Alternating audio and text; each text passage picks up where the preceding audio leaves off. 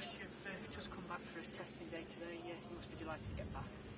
Yeah, delighted to be back and delighted with the results. I think that's the key, the results. Um, the lads have looked after themselves over the summer.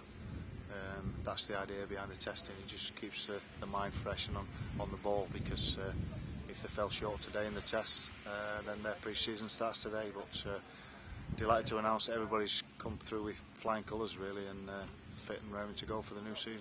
I know your players have only been here a day, but they've settled in quite well, haven't they? Yeah, it's, it's a good group to come into. It's a great set of lads in there, and uh, they'll welcome the new lads, you know, with open arms. So uh, yeah, I think everybody's ready uh, to start, you know, the season. Uh, let's get going now, and uh, it's been a, a, felt a longish break for me. Um, as soon as the fixtures come out, you get excited and you're raring to go. And today, as a manager, um, I'm absolutely delighted with the results from the players.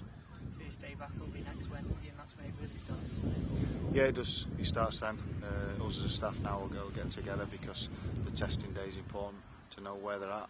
Um, you know, and then they're right up there. It means the balls can come out a little bit earlier than, than, than usual because they're up to speed. So uh, yeah, looking forward to it. How important is, is it to get those balls out and get them practicing with the balls? I think it's, it is important because the pre-season games uh, each year seems to start start early. You know, Middlesbrough on the on the 11th, so we've only got sort of you know eight or nine days uh, uh, work on the training ground before we've got a, a game against a you know top opposition where we don't want to look uh, look silly. So you know, work in progress now, but first and foremost, the fitness levels uh, are all up to speed.